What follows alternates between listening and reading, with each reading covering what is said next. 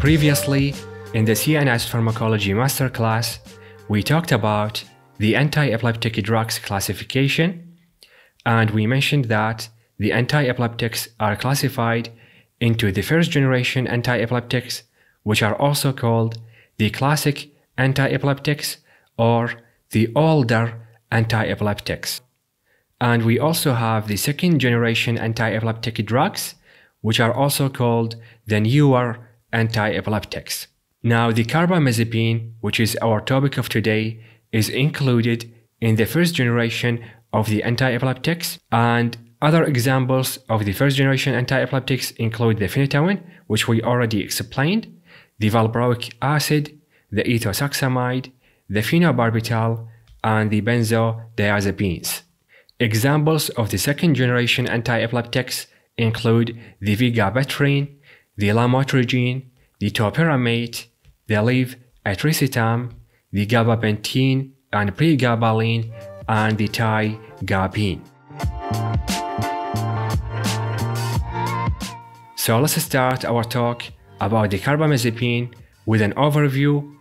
So a famous trade name for this medication is the Tegretol, and this is how the packaging look for this medication. And the carbamazepine is one of the most commonly used anti-epileptic drugs for treatment of seizures and epilepsy, and it was discovered in 1953 by the Swiss chemist Walter Schindler. Now let's move on to talk about the mechanism of action of this medication. So we mentioned that it is used in treatment of seizures, that is by blocking the voltage-gated sodium channels in the brain. Now, if you remember, when we want to treat a seizure, we either have to block the sodium channels or we have to enhance the inhibitory neurotransmitters in form of GABA, or we have to block the excitatory neurotransmitters. And the carbamazepine works by blocking the sodium channels. And this is the same mechanism as the phenytoin, except the phenytoin blocks the sodium channels in the brain and the heart, while the carbamazepine blocks them in the brain only. So when it blocks the voltage-gated sodium channels, it leads to inhibition of the generation of repetitive action potentials that lead to seizure, and this would lead to stopping or prevention of the seizure. Now let's talk about the therapeutic uses of the carbamazepine. So, as we mentioned earlier, it is used in treatment of seizures, and specifically, it is used in treatment of focal onset seizures of most types. And also it is used in treatment of generalized onset tonic-clonic seizures. Carbamazepine can exacerbate the absence and myoclonic seizures. That is why it is not given for patients suffering from those types of seizures, and it is effective in treatment of trigeminal and glossopharyngeal neuralgia, and it is also used as a mood stabilizer in treatment of bipolar disorder. Now, all of the already mentioned therapeutic uses are FDA approved. The non FDA approved ones include the refractory schizophrenia.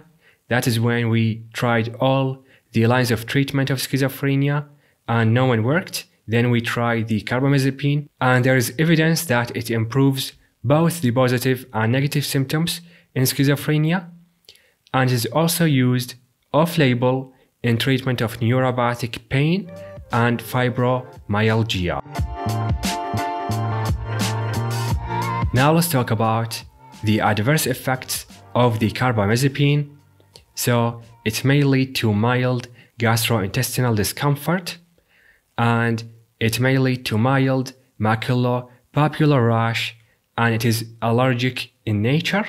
That is why if this rash appeared then drug should be stopped because the next progression for this rash is the Steven Johnson syndrome, which is rare and the Asians are more susceptible to the Steven Johnson syndrome due to the prevalence of the HLA-B1502 allele in Asians. And this allele is highly associated with the Steven Johnson syndrome. So it is very important that if the patient is Asian, we have to test for the allele, the HLA B1502 allele. So if they have it, then we don't give them the drug because of the high risk for the Steven Johnson syndrome. And this picture here is an example of the maculopapular rash. Carbamazepine also affects the central nervous system, leading to several adverse effects like diplopia, which is double vision, meaning the person sees two objects of the same object, like this here. And this occur Firstly, in comparison with the other CNS symptoms caused by this medication.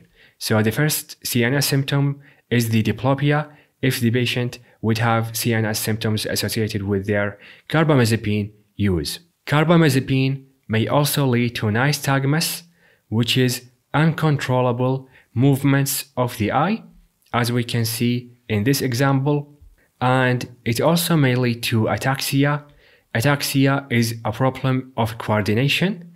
This may lead to abnormalities in coordinating the lower limbs movements, leading to abnormal walking or difficulty coordinating the upper limbs movements or difficulty coordinating the speech or the eye movements. Now, the CNS symptoms caused by the carbamazepine are also shared by most of the first generation anti-epileptics. And carbamazepine also affects the liver, leading to microsomal enzyme induction, which we will talk about a little bit later. And it affects the blood, leading to megaloblastic anemia due to the increased folic acid metabolism caused by the CYP450 enzymes induction. And it also lead to benign leukopenia, which is a drop in the white blood cell count and rarely the white blood cell count become very low leading to agranulocytosis and aplastic anemia. And that is why with the use of this medication the baseline complete blood count is recommended. To check if the patient have low white blood cell count then we don't give them this medication. Carbamazepine if given during a pregnancy it is teratogenic. It may lead to neural tube defects like spina bifida, which is incomplete closing of the spinal cord, leading to the spinal cord popping out into the outside environment, like you can see in this picture here. And it also may lead to craniofacial anomalies in the baby, for example, the cleft palate that you can see here in this picture and risk for teratogenic anomalies is lower for this medication in comparison with the phenytoin or valproic acid because those medications cause more teratogenic effects. And carbamazepine also lead to increased antidiuretic hormone secretion, leading to hyponatremia and edema. Now let's move on to talk about the pharmacokinetics of this medication. So the carbamazepine is available in oral and intravenous formulations, and the oral formula is well absorbed with almost 100% bioavailability, and the distribution is slow. The volume of distribution is around 1 liters per kilogram. So if we have toxicity, we can clear the medication through dialysis because the volume of distribution is less than 10 and the plasma protein binding for this medication is 70%. Regarding metabolism, the carbamazepine is metabolized by the cytochrome P450 enzymes in the liver, mainly by the cytochrome B3A4. And the carbamazepine is a CYP enzyme inducer, as we mentioned earlier, it specifically induces the CYP3A4 and the CYP2B6, and this leads to increase the rate of metabolism of other anti-epileptic drugs and other drugs that are metabolized by these enzymes. Examples of the other anti-epileptics that would be affected by the carbamazepine include the primidone, the phenytoin, the ethosuximide, the valproic acid, and the clonazepam. And the carbamazepine, interestingly enough, induces its own metabolism, which is autoinduction, resulting in lower blood concentrations of this medication at higher doses. And its half-life is around 36 hours and it is excreted through urine. Now let's talk about the contraindications. So carbamazepine is contraindicated in bone marrow suppression because it leads to leukopenia and it is contraindicated in hypersensitivity to it or to tricyclic antidepressants, for example the amitriptyline, because the carbamazepine has a similar chemical structure to the tricyclic antidepressants. So if the patient is allergic to the tricyclic antidepressants, they are also allergic to the carbamazepine. So it is important to not give them this medication if they have allergy to the tricyclic antidepressants. Finally, let's talk about the carbamazepine toxicity. So doses higher than 24 grams ingested by adult patient are fatal. Toxicity appears after 2 hours of intake and present as impaired consciousness, which progresses to coma. Patients also have tremor, athetoid movements, dizziness, mydriasis, and nystagmus. And with higher doses, the cardiac symptoms appear in form of ECG changes, tachycardia, and shock. And with that, we reach the end of this video. Thank you guys for watching. Support this video by giving it a like and commenting your ideas and questions. And this video is a part of a bigger class. It's called the CNS Pharmacology Masterclass. You can check it out. It will appear on your monitor right now.